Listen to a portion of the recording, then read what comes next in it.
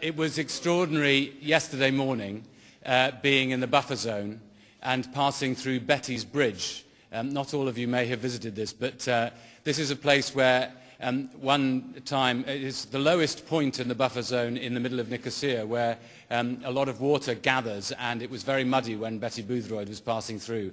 And so they built a special bridge for Betty so that she wouldn't get her feet wet. Um, and that is now still called Betty's Bridge. Uh, but being there, the sense of failure of humanity and of Europe, really, that we allow a divided city, a divided capital city, still to exist within Europe, uh, is poignant, it's strong, it's, uh, and um, my whole, I was there from Sunday till yesterday evening. I think that today, this part of the House of Commons is transformed and looks very much like Cyprus. Not only because amongst us I see many dear and familiar faces, but rather because uh, we are here today to focus, as a photographer would say, on a close-up on Cyprus and its people. My friend Doros Partasides has taken a close look at his native homeland. The subject of uh, his work has for years been an exploration of Cyprus and its people, a small selection of which is shown here today. I knew Doros Partasides' work before I actually met him in person.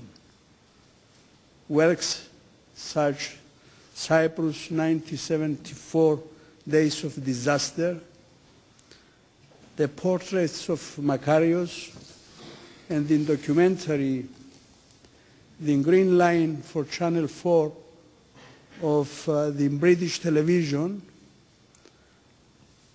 are invaluable records of history and sentiment. A classical tragedy acted out in real life when the coup and the Turkish invasion deeply scarred Cyprus and its people. Doros was there before many of us could even comprehend the magnitude of the terrible consequences of the double crime against Cyprus.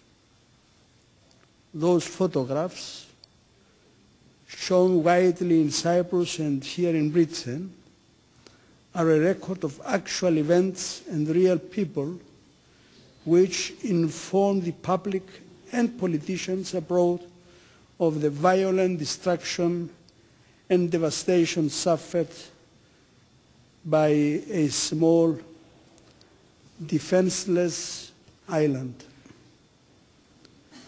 These images of 1974 events are also a roadmap for Cyprus, tracing the calamities of the past and giving us hope for the future. They are our fathers, grandfathers. Even when viewing his photos of fear and disaster, for me, Doros Partasides is above all photographer of hope, photographer of future. Today's exhibition is a most elegant testament to this. The subject of uh, his photographs stands smiling, which is exactly how Cypriots face human beings regardless of their ethnic origin. This exhibition, as always, I dedicate for the people, for the diplomats and the politicians, they work to reunite the people and the island. From the bottom of my heart, thank you, each one individual, for coming here. And please, please enjoy looking at the photographs. Thank you very much indeed.